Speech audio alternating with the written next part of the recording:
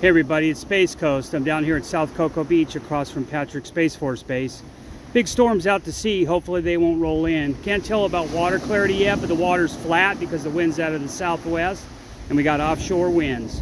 With any luck at all, we're about to send the big rods out. Maybe we can get on an early morning shark. Down here south of Cocoa Beach on the 12th of July. First fish of the day right here at daylight. Still having to use the light on the camera. Uh, old Mr. Kitty. Hopefully we'll get on some better fish today. Just caught my first shark today on July 12th. It's a uh, bonnet head. He's a pretty active little guy. Gonna get him off the hook and get him sent back. Little bonnet head here. Just caught him first thing in the morning down here at uh, Cocoa Beach. Got him off the hook and we're gonna send him back. It's uh, July the 12th. Like I always tell everybody, I don't keep any sharks. This is a good size one, be good eating, but I don't eat these guys. Tight lines, everybody. Come back and see me when you're bigger, buddy. Got another catfish.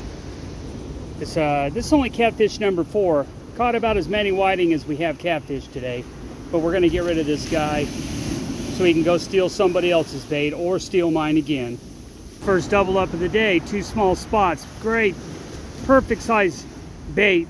And there has been a lot of bird action and a little bit of fish jumping out in front of me. So I might switch over to live spots, see if I can get on something with these fishing trip of uh, three parts. It's July 12th.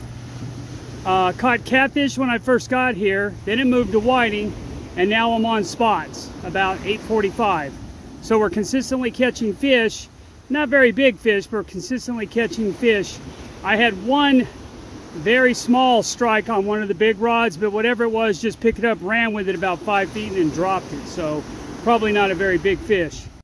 Hey everybody, Space Coast coming to you from South Cocoa Beach across from Patrick Space Force Base. It's the 12th of July and the water is like a lake out there but it's a little bit dirty.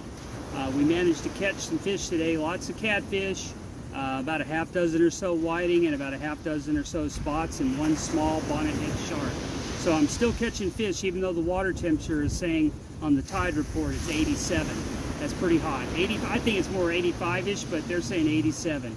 So it's going to be really hot, so you're going to have to get out and fish either first thing in the morning or right at sunset because the fish are not going to be active during the hottest part of the day. But there still are some fish to serve if you want to get out and fish with your family and have a little fun. As always, everybody, be safe, tight lines. Be safe, everybody, tight lines.